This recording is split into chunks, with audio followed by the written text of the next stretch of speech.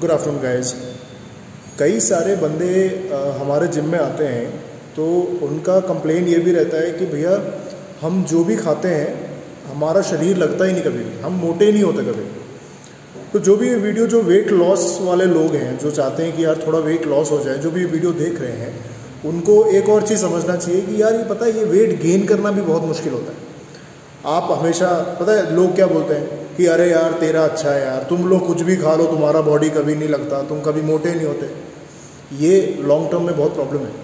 अगर आपका मेटाबॉलिज्म बहुत फास्ट है तो आप कुछ भी खाओ, आपका शरीर कभी नहीं लगेगा। आपको, आपका खाना बहुत जल्दी डाइजेस्ट हो जाता है बॉडी में। आपको बार बार भूख लगने लगता है, लेकिन उसके बाद भी आप मोटे नहीं हो रहे। ये बहुत लोगों का प्रॉब्लम है। इनफैक्ट ज़्यादातर लड़कियों में भी मैंने ये चीज़ देखा है। कि यार, वो जो भी पहन लें, उनके कपड़े में ऐसे लगता है कि बस दीवार पे कपड़े हैंग कर दिए गए है। ना, कोई लुक ही नहीं आता कभी भी। तो ये प्रॉब्लम किस चीज़ का है? ये सारा प्रॉब्लम आता है मेटाबॉलिज्म का। जो मोटे हैं, उनका मेटाबॉलिज्म वीक है। जो पतले हैं, उनका मेटाबॉलिज्म स्ट्रांग है।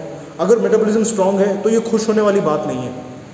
अगर बहुत ज़्यादा स्ट्रांग है तो आप आप जो भी खाओगे, आपका शरीर कभी नहीं लगेगा। आप मॉल में कपड़े खरीदने जाओगे, कपड़े ऐसे लगेंगे कि बस यार वो एक वॉल में कपड़े हैंग कर दिया, वैसा लगेगा ना आपके हाथों में दम या फिर कुछ फील नहीं आएगा कपड़े पहन के। तो ये क्यों होता है? अब इस मेटाबॉलिज्म को हमें क्यों, कैसे ठीक करना है? हमें इस चीज़ के ऊपर काम करना है। तो मेटाबॉलिज्म ऐसे बैठे बैठे तो ठीक होगा नहीं। उसके लिए काम करना पड़ेगा। ठीक है? उसके लिए कई सारी चीज़ें खानी पड़ेंगी। ठीक है? अच्छे से डाइट लेना पड़ेगा। मैंने लास्ट वीडियो में बोला था कैलोरीज कैलोरीज का ध्यान रखना पड़ेगा कि यार अगर मेरे को ढाई हज़ार कैलोरीज चाहिए तो मैं तीन हज़ार कैलोरीज खा रहा हूँ, ताकि मैं कैलोरी डेफिशिट में नहीं रहूँ, मैं कैलोरी ज़्यादा खाऊँ। ठीक है? ज़्यादा से ज़्यादा कैलोरी मेरे शरीर में जाए, जो मेरा बॉडी उसको यूज़ करे और मेरा थोड़ा सा वेट गेन हो या मसल गेन हो। अब मसल गेन भी बैठे बैठे नहीं होता। इन सब का सोल्यूशन क्या है पता है? एक्सरसाइज एक्सरसाइज करना आपके बॉडी में मेटाबॉलिज्म को बैलेंस्ड बनाता है। स्लोली होगा, लेकिन होगा। बैलेंस्ड तब हो जाएगा जब आप रेगुलर एक रूटीन में जा रहे हो। आप रेगुलर खाना पीना का ध्यान रख रहे हो।